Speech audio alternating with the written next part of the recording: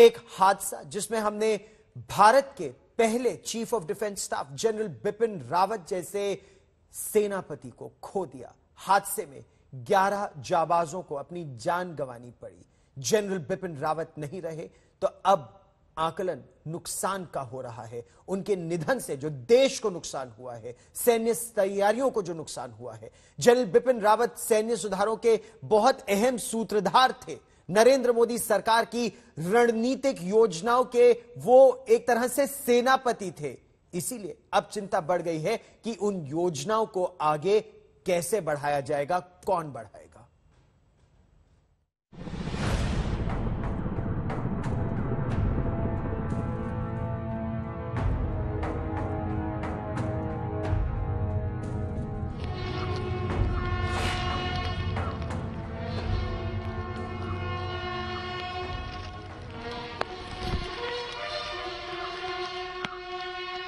ये देश का साझा दुख है। एक हादसे ने पूरे मुल्क को हिलाकर रख दिया है।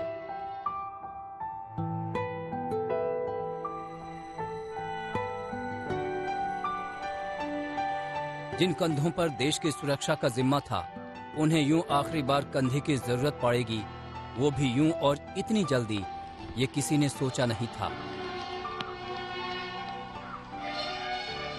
देश की संसद तक शोक और पीड़ा देखी और सुनी जा सकती है। मैं देश की ओर से सभी दिवंगत लोगों को हार्दिक श्रद्धांजलि अर्पित करता हूँ और उनके परिवारजनों के प्रति अपनी संवेदना भी व्यक्त करता हूँ। संसद आज मौन है क्योंकि हिंदुस्तान ने उस योद्धा को खोया है जिनकी बहादुरी और जिनका सैन्य कौशल दुश्मनों पर बार बार हर बार भारी पड़ता आया है।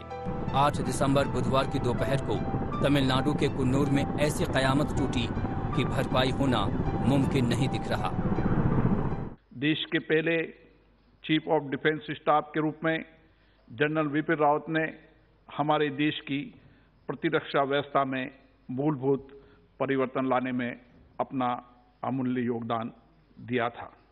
उन्हें राष्ट्र के प्रति तथा अपने सैनिकों के प्रति समर्पण एवं प्रतिबद्धता के लिए सदैव याद रखा जाएगा Honorable members, I refer with profound sorrow to a tragic incident of a helicopter crash yesterday, the 8th of December 2021, at Nilgiri district of Tamil Nadu, in which India's first Chief of Defence Staff, General Bipin, Bipin Rawat, his wife, Srimati Madhulika Rawat, and 11 other defense personnel lost their lives.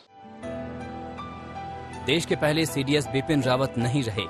Hindustan की सेना को सर्वश्रेष्ठ बनाने की योजना के सूत्रधार का असामयिक निधन हो गया। बिपिन रावत की अहमियत किसी पद के दायरे में नहीं आकी जा सकती। वो जिस मिशन में लगे थे, वो असाधारण था। पीएम मोदी की जिन उम्मीदों को वो पूरी करने में लगे थे, वो अकल्पनीय थी। सेना में आमूल सुधार की योजना, सेना के आधुनिकीकरण की योजना। सेना के एकीकरण की योजना इंटीग्रेटेड थिएटर कमांड की योजना। बिपिन रावत इन तमाम योजनाओं के अग्रदूत थे। उन पर भारतीय सेना को उस कतार में ला खड़े करने का जिम्मा था, जहाँ दुनिया की तमाम आधुनिक सेनाओं से फासला बेहद कम रह जाता है। बस यूँ समझ लीजिए कि बिपिन रावत भारतीय सेना की काया पलट वाले प्लान के सबसे बड़े कर्ता धरता थे। इसलिए तमाम विवादों के बीच पीएम मोदी ने उन्हें सीडीएस पद पर बिठाया, क्योंकि उनकी सैन्य समझ और दृष्टि पर पीएम मोदी को पूरा विश्वास था।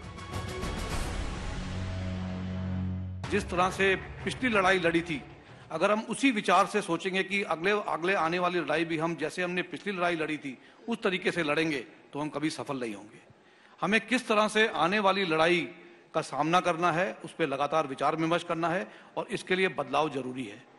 बदलाव का मतलब हम, मैं क्या कहना चाहता हूँ कि आप देखेंगे कि आने वाले दिनों में तीन तीन, चार चार साल चलने वाली वर्ल्ड वॉर नहीं होंगी। लड़ाई जो होगी, आपको समय जीत हासिल करने के लिए बहुत कम समय मिलेगा। क्योंकि उसके बाद इंटरनेशनल प्रेशर यूएन एजेंसीज आपके ऊपर दबाव डालेंगी।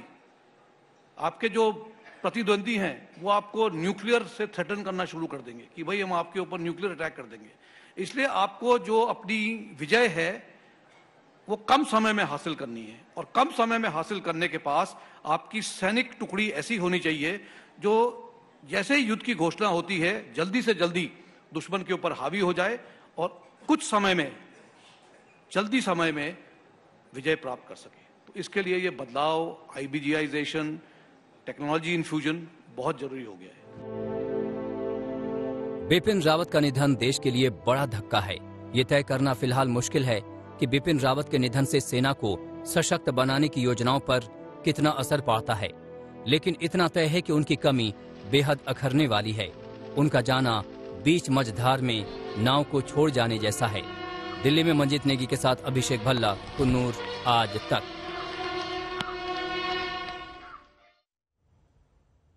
थिएटर कमांड जल्द से जल्द बने इंटीग्रेटेड बैटल ग्रुप्स बने, ताकि जल्दी से युद्ध जीता जा सके। ये थी उनकी योजना टेक्नोलॉजी भारत में निर्मित टेक्नोलॉजी सेनाओं के काम आए, ये था उनका प्लान लेकिन कुन्नूर हेलीकॉप्टर हादसे ने देश को स्तब्ध कर दिया। हर तरफ़ केवल शोक के स्वर सुनाई दे रहे हैं, क्या नेता, क्या सेना, क्या सड़क पर चलता आम आदमी, सभी की आँखें नम है। निश्चित तौर से पूरा देश इससे दुखी है। हम सब दुखी हैं और हम सब की तो यही दुआ है कि उनके परिवार उनके शुभचिंतकों को भगवान इतनी शक्ति दे कि वो इस अपार दुख को सहने की शक्ति कर, हासिल कर सकें। आज जो है वो पूरा देश देश की आँखें नम है। वो इसलिए कि जिस तरह से जनरल रावत हमेशा देश की सुरक्षा देश की सीमाओं की सुरक्षा देश के लोगों की सुरक्षा के लिए हमेशा अग्रणी भूमिका निभाते रहे हैं। एक अग्रणी योद्धा की तरह आ, काम करते रहे हैं। निश्चित तौर से एक बहुत बड़ा लॉस है एक बहुत बड़ा नुकसान है और उनके साथ जो और लोगों की दुर्भाग्यपूर्ण मृत्यु हुई है वो हम सबके लिए बहुत ही दुखद क्षण है बहुत दुख, दुखदायी क्षण है। समूचा देश जनरल रावत की इस मृत्यु पर सदमे में है, अफसोस में है, और मृत परिवार की और सभी जो लोग इसमें मृत हुए उनके लिए हम अपनी और पार्टी की तरफ़ से श्रद्धांजलि पेश करते हैं। इससे पूरा देश आज शोकाकुल है, क्योंकि सीडीएस के पद पर जो वो ज़िम्मेदारी निभा रहे थे, और पहला सीडीएस के पद पर, और वो एक ऐसे जाबाज केवल जनरल नहीं थे, बल्कि राष्ट्रभक्त थे। इसलिए पूरा देश आज शोकाकुल है। हर जगह गम का माहौल है। ऐसा कोई भारतीय नहीं था जो सदमे में नहीं था। और उसका कारण भी स्पष्ट था कि हम लोग के बीच में देश के प्रथम सीडीएस देश के एक मिलिट्री के रणनीतिकार और साथ ही साथ देशभक्त के साथ वो पहले एक सोल्जर थे। और उनका जाना, उनकी धर्मपत्नी और उनके साथ, उनके सहयोगियों का जाना एक बहुत बड़े सदमा मिला है। और उस शोक के अंदर पूरा देश एक साथ था। शोकाकुल है पूरा देश। ज़्यादा जानकारी के लिए अब इसके बाद आगे क्या होगा? आपको सीधे ले चलते हैं मेरे सहयोगी मंजीत नेगी के पास। मंजीत, कितनी देर में पार्थिव शरीर को राजधानी दिल्ली के पालम टेक्निकल एयरपोर्ट लाया जाएगा? कौन कौन जा रहा है एयरपोर्ट? मंजीत। देखिए, फ़िलहाल तीनों सेना, सेनाओं की जो टुकड़ियाँ हैं, उनके जो वरिष्ठ अधिकारी हैं, गौरव, वो पालम एयरबेस पर पहुँच चुके हैं। वहाँ पर सारी तैयारी हो चुकी है, क्योंकि वहाँ पर tri service guard of honour होना है और जहाँ तक रक्षा मंत्री राजनाथ सिंह और प्रधानमंत्री नरेंद्र मोदी के जाने का भी की बात है। सात बजे के बाद, सात से आठ बजे के बीच का ये कार्यक्रम रखा गया है, जहाँ पर उनको प्रधानमंत्री अपनी अंतिम सलामी देंगे उनको तो इस तरह से कार्यक्रम रखा गया है। और अभी उम्मीद की जा रही है कि सुलूर से विशेष विमान से उनका पार्थिव शरीर उनकी पत्नी और उनके जो स्टाफ के लोग हैं वो, वो दिल्ली पालम एयरबेस पर छह बजे के आसपास पहुँचेंगे। मंजीत इस जानकारी के लिए धन्यवाद।